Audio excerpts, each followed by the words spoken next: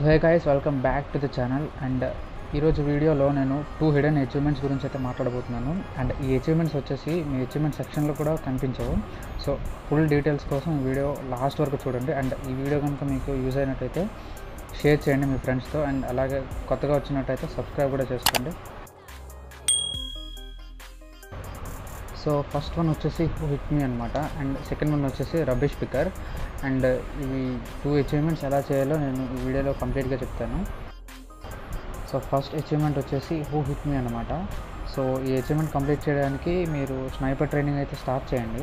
So ఎప్పుడైతే మీకు jump button వస్తుందో అప్పుడు మీరు జంప్ చేసేసి మీరు మార్క్ మై లొకేషన్ పెట్టండి. ఎందుకంటే మీరు జోన్ బయట ఒక ఫైవ్ హండ్రెడ్ ప్లస్ మీటర్స్ బయట వెళ్ళి ఫినిష్ అయితే అప్పుడు మీకు ఈ అచీవ్మెంట్ కంప్లీట్ అయితే అవుతుంది. ఫైవ్ హండ్రెడ్ మీటర్ కన్నా తక్కువ ఉంటే మీకు అచీవ్మెంట్ కంప్లీట్ అవ్వదు. అండ్ అది కూడా స్నైపర్ ట్రైనింగ్లోనే కంప్లీట్ అవుతుంది.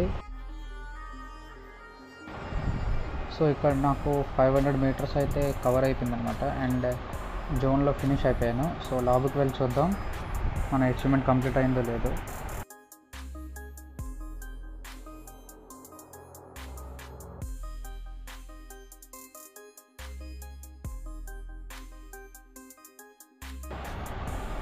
అండ్ దే మన who hit me achievement complete అయిపోయింది. సో ఇది కంప్లీట్ చేసినందుకు మనకి ట్వంటీ అచీవ్మెంట్ పాయింట్స్ అయితే వస్తాయి. అలాగే ఒక క్లాసిక్ క్రియేట్ అయితే వస్తుందన్నమాట.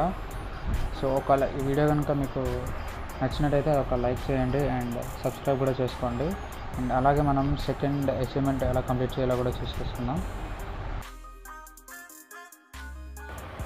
సెకండ్ అచీవ్మెంట్ వచ్చేసి రబీష్ పికర్ అనమాట సో దీన్ని ఈజీ కంప్లీట్ చేయాలి అని అంటే మీరు ఒక క్లాసిక్ మ్యాచ్ అయితే స్టార్ట్ చేయండి.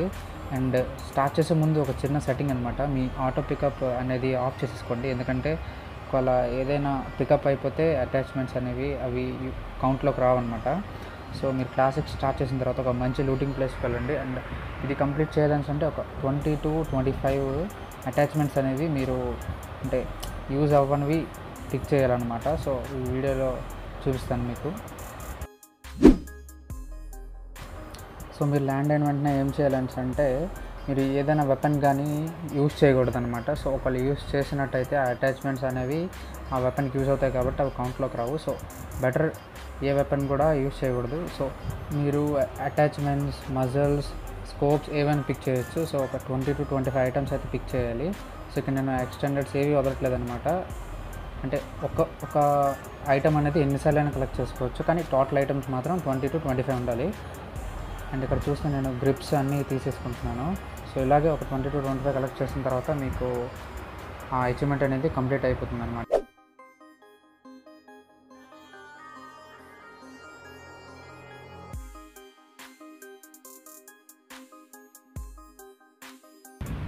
సో ఇక్కడ నేనైతే twenty to twenty five attachments అనేవి కలెక్ట్ చేసేసాను అనమాట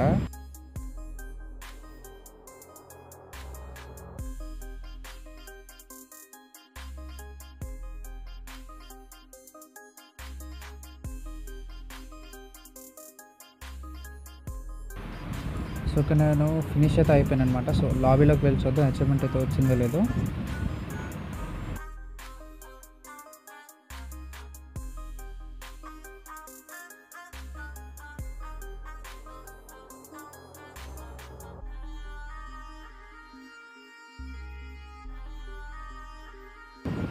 సో ఈ అచీవ్మెంట్ కూడా సేమే rubbish picker twenty achievement points అయితే వస్తాయి. అండ్ అలాగే ఒక క్లాసిక్ క్రియేట్ అయితే వస్తుంది అనమాట సో ఇలా ఈజీగా ఈ అచీవ్మెంట్స్ అయితే కంప్లీట్ అయిపోయాయి. సో ఒకవేళ మీరు న్యూ అయితే సబ్స్క్రైబ్ కూడా చేసుకోండి. Thank you